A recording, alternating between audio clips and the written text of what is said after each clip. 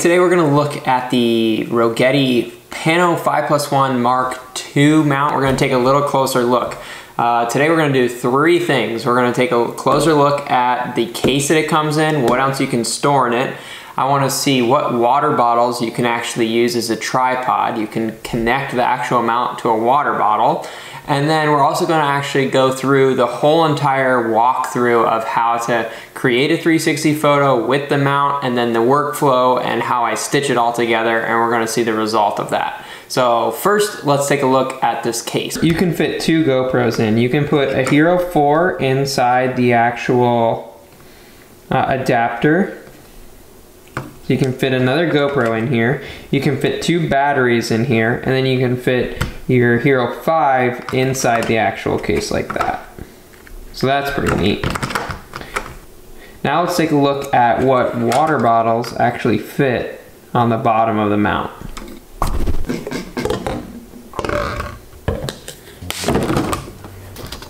The first one we have is a Dasani water bottle. So this one works perfect. Nice and tight. Doesn't leak.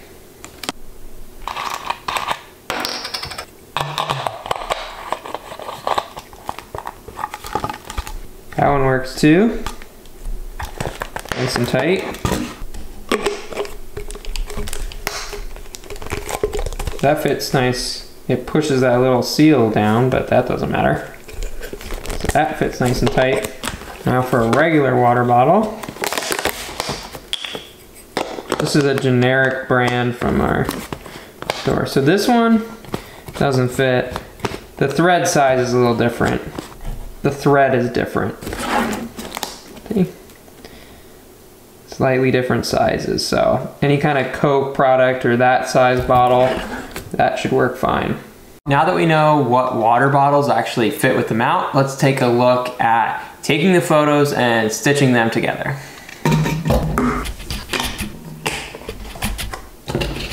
Depending on what tripod you have, uh, like this is a quarter inch thread and this is a 3 8 inch, so you can actually take the little quarter inch adapter and we'll screw it right in here. Then we'll put this right on top of the tripod.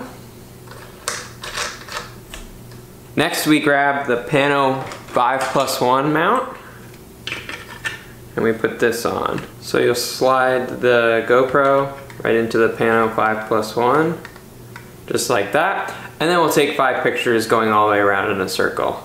So we'll take one here, one here, one here, one here, and one here. When you get back around to where you started, Take your camera out and you'll put the camera in this way. So you want to make sure that your lens is at the front here. See that? If you put it in this way, your image will be slightly off. It, the GoPro doesn't really fit in that way, but if you're using the adapter, it goes in smoothly either way. So you want to make sure that the lens is at the front here, just like that. So you put the GoPro right in the top, take another picture, GoPro, take a photo. Just like that. And now we switch over to the Nadir patch mount. So we'll do two of these. Slides in perfectly, just like that. Step out of the photo. GoPro, take a photo. We'll turn it. Clicks into place. Same thing. GoPro, take a photo and then we're all set. So you'll take this out. Now we'll take a look at actually how you stitch all the photos together. After you've taken your photos, you're going to go to your computer and open up your stitching software. I'm using Kolor Autopano Giga. So we'll open this up and we'll import our pictures. So we have one, two, three, four, five. And then I took the same picture twice. So I have this one, and we have the one looking up at the ceiling, and then we have the two uh, Nadir patches. So we'll detect the images. Alright, it looks like it did a pretty nice job of stitching it together. I don't see any white spots, so let's jump in here and edit it. When you patch this together, you're taking a picture and it, and it includes this plastic mount. So how do we get rid of that? The first thing I'm going to do is turn off all the pictures except for these two shots.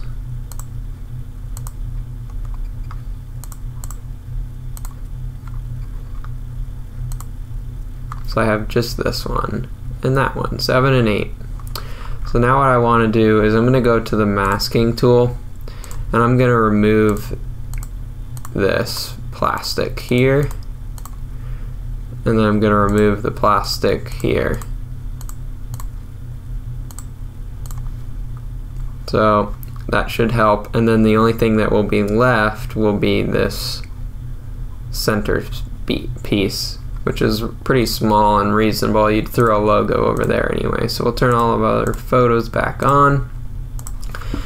And we will now export this. So we're going to save our changes here. All right, let's render this and see how it looks. There it is. YouTube Mark II. We're going to open this up with GoPro VR Player.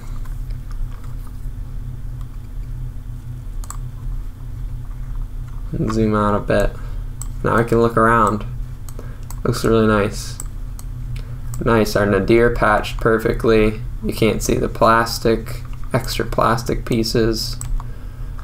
This is really nice. So the, the Rogeti mount, I mean, it, it captures at every angle perfectly.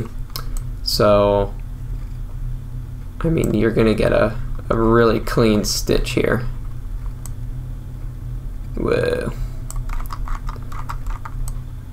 Now you know what my kitchen looks like.